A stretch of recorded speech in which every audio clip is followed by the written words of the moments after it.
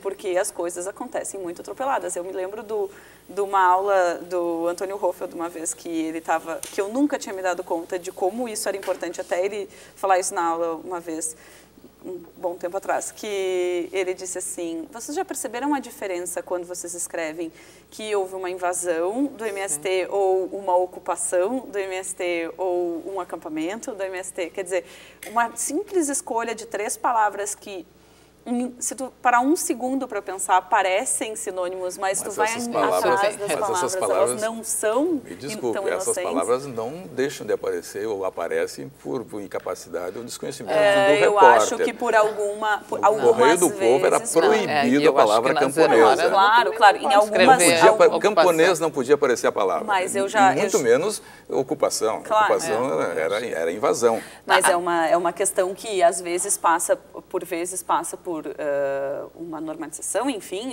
por, por, parte do veículo, mas eu acredito muito que grande parte das vezes por uma falta de reflexão ah, do eu, eu acho... repórter, do editor, de não parar para pensar o que, que aquilo realmente significa e questionar o seu editor, deixa... tipo assim, ó, por que, que eu não posso escrever camponês? Tá, deixa eu dar um dado tá, que é nosso tá. favorável, só para enfrentar um pouco essa ideia do, do, da falta de conhecimento do jornalismo.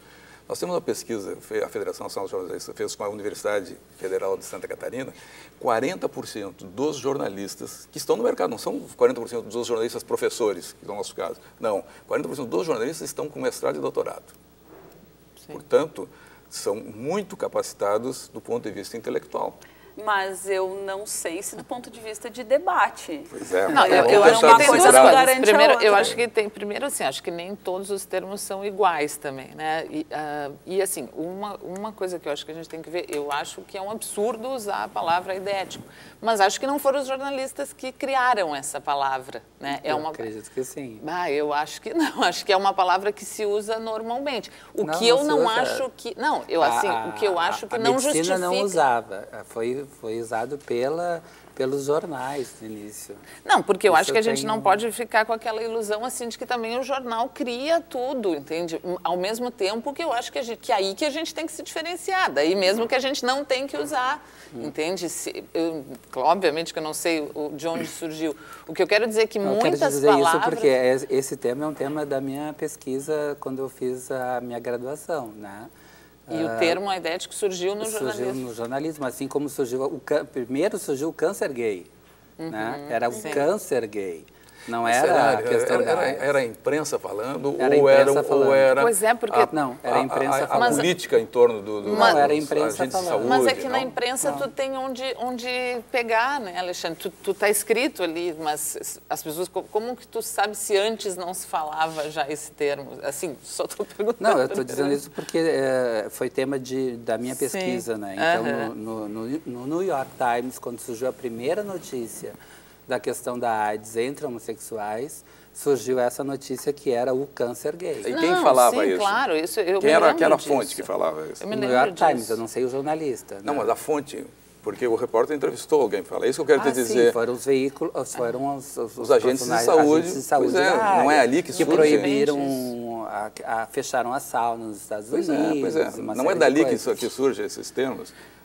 É, eu Isso acho que eu quero também dizer. É, eu, assim, o que eu quis dizer que eu acho assim também a gente Mas não publicizado pode... foi ah, através. bom, Sim, isso, claro, claro, né? claro. Mas é isso que eu estou dizendo, exatamente.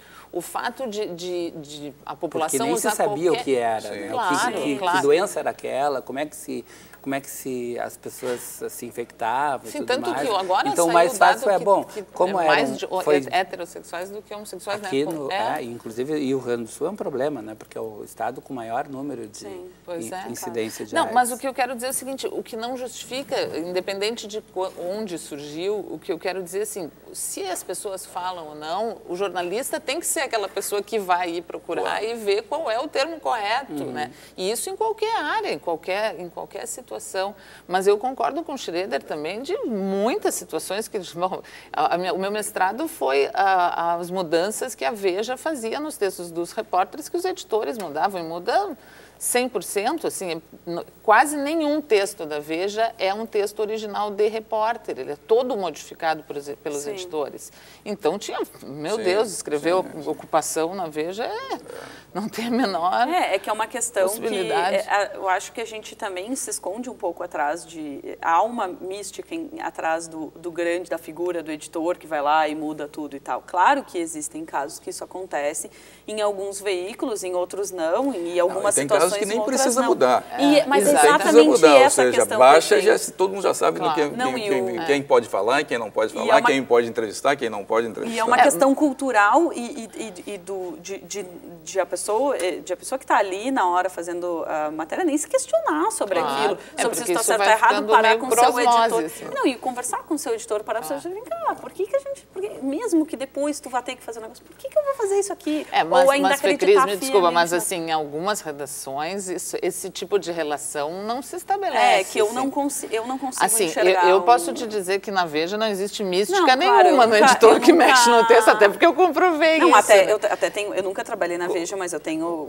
conheço totalmente. muita gente que trabalha na Veja. Mas isso. eu, enquanto editora, nunca, nunca me foi pedido para mexer em absolutamente nada. Eu editei textos que tinham alguma certa polêmica. E claro. já vi textos que saíram com problemas, com problemas que eu identificava enquanto leitora, que ah. eu fui perguntar para o repórter e o cara me disse, não, não mexeram uma linha no que eu escrevi, fui eu, eu escrevi isso Sim, mesmo. Claro. Quer ah, dizer, não, então... Claro. Vai se adequando, as pessoas vão se adequando. Eu, eu me recordo, para trazer um tema que nós, por exemplo, debate sobre aquecimento global. Hum. Eu fui, fui conversar com, com um cientista da área, o cara disse que não tem debate nenhum. Não existe debate, está aquecendo. Né? Não, mas como é que eu, o jornalista vou escutar, vou escutar um que acha que está aquecendo e o outro não? Eles são lobbies. São lobbies internacionais que estão atuando para, retardar ações que precisam ser feitas e que baixam a rentabilidade. Então, tem temas que, isso, não são debates, uhum. não são, e, no entanto, entram para dentro das redações de uma maneira meio que sem se questionar, ou seja, sem se perguntar por claro. que, eu estou tratando disso? Uhum. Por, que, que, eu, por que, que você pintou aqui? Por que, que eu tenho que que, que, que e, trabalhar e, tem, e tem que necessariamente porque polemizar tudo, né? Também é, tudo tem que virar é muito polêmica. Maniqueísta, é, um né? lado ou outro, e, tem e a dois gente, lados. E, a, e tem muito a coisa de comprar a ideia da fonte, né? Como as pessoas têm pouco tempo, elas vão lá entrevistam uma uma pessoa só e compram aquela ideia. Teve uma vez eu estava fazendo, eu trabalhei por algum tempo em, com economia para o Terra. E aí eu entrevistei, eu entrevistei três caras que diziam a mesma coisa, uma bobagem, assim, era por que, que o, o, a moeda da China nunca ia uh, ocupar o lugar do dólar, enfim, era um negócio bem simples, assim, não tinha nada de ideológico em cima daquilo. E aí eu entrevistei três caras que diziam uma determinada coisa, não, nunca vai ocupar o lugar e tal. Daí eu já tinha marcado a entrevista, quer saber, eu vou falar com esse quarto cara. E o cara ia dizer completamente o oposto. E aí, se tu, e aí, quanto que, até onde tu vai comprando uma ideia específica que uma claro, fonte está te dizendo. Quer dizer, uh, se, e ainda mais jornalista, eu não entendo, não entendo nada de economia. Eu estudava, sim, eu lia muito noticiário de economia porque eu trabalhava com e aquilo. não tem que saber, assim... viu, por isso que eu estava questionando, eu não tenho que saber de economia para falar de economia. Claro. Portanto, eu saber sobre questões médicas ou questões éticas sobre homossexualidade, etc., é menos importante, me parece, do que eu ter perfil de, de, de, me questionar, um perfil de me... Exato, de, de, de ir atrás de outras de Isso, outras de trabalhar com as contradições. Claro, claro, de entender aquele assunto na sua complexidade. E os assuntos, por isso, eu acho, essa é a parte boa, na minha opinião, das, das mídias sociais, da internet, a gente enxerga um pouco mais a complexidade dos assuntos, porque a gente consegue, se quiser, ir atrás, e nada cai no colo, né? O cara tem que entender que ser jornalista nunca vai deixar de ser um trabalho Sim. trabalhoso, o cara tem que ir atrás. Mas, assim, tem acesso a mais, uh, tem acesso a um milhão de grupos que existem a todas as 54 opções do Facebook é, de, de, de, de, gênero e de opção, e de opção sexual ou de é, orientação sexual, enfim.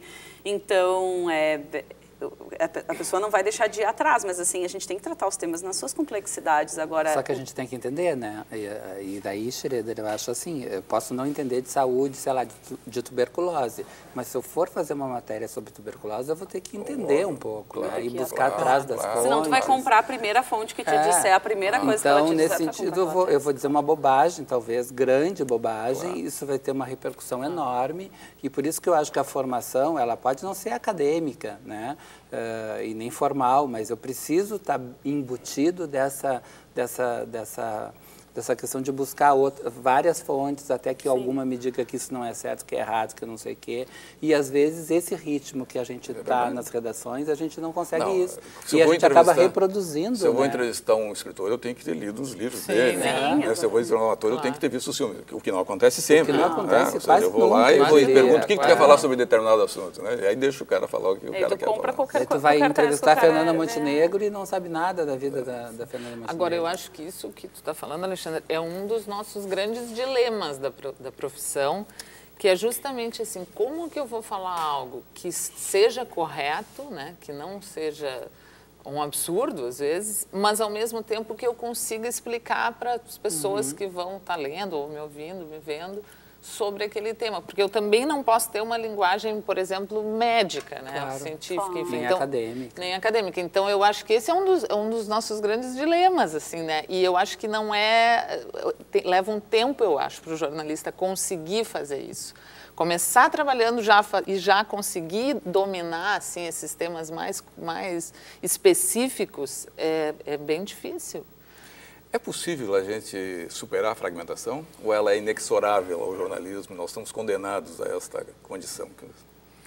Eu, assim, a, a, frag, a, fragmentação em relação à, segmentação de público, eu acho que ela é, vai acontecer cada vez mais, assim, de ter mídias mais direcionadas para diferentes, assim, segmentos bem específicos. Nós somos condenados à Idade Média, então voltaremos Não, a mas falar, eu com, acho a tribalizar, vamos Eu dizer. acho que, infelizmente, pela questão do consumo, que até eu tinha notado aqui, porque fica muito... Eu, eu me direcionar para um grupo menor, ou um grupo que seja, eu consigo publicidade para aquele grupo uhum. menor, eu mas isso então, não era jornalismo do século XVII, XVIII, não fazia isso? Eu, é, mas eu, eu, concordo muito com a Thaís, mas eu acho que a fragmentação da mídia segue uma fragmentação social. Como, como eu falei, eu acho que as pessoas cada vez têm menos, são menos tolerantes a, opinião, opiniões diferentes não, das suas. Não há uma retroalimentação. Há uma retroalimentação, claro. claro, com certeza, mas eu, eu concordo com a Thaís. Inclusive, eu acho que é um, uma coisa da qual a gente não consegue fugir. Assim. Inclusive, é um paradigma, eu diria isso, porque também ao mesmo tempo que existe essa necessidade, existe mais publicidade e tal, a, cada vez a sociedade está mais plural também, né? Sim, mas... Então a gente vai, eu acho que as duas coisas elas devem caminhar,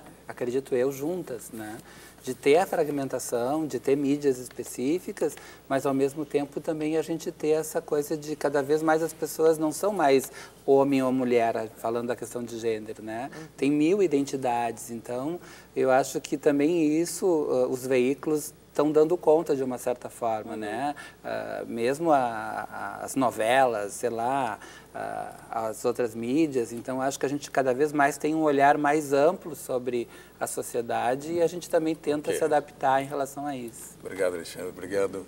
O Mídia em Debate de hoje fica por aqui. Gostaria de agradecer a presença dos nossos convidados, a jornalista Thaís Furtado, coordenadora do curso de jornalismo da Unicinos Porto Alegre, a jornalista Fecris Vasconcelos, editora de inovação do jornal Zero Hora, e o jornalista Alexandre Boer, fundador da ONG Somos Comunicação, Saúde e Sexualidade. Até a próxima semana.